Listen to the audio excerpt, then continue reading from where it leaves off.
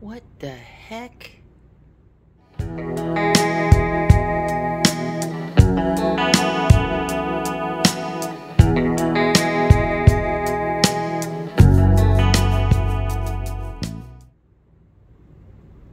Okay, you guys. Yeah, that's Myrtle. I have the gate up so Myrtle won't go down the hall and get lost, and look what she's doing. She's climbing the gate. oh my goodness, Myrtle! What are you doing, Myrtle?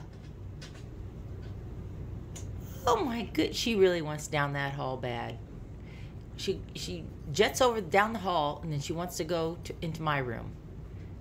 So I need to go get her. Myrtle, you are too much.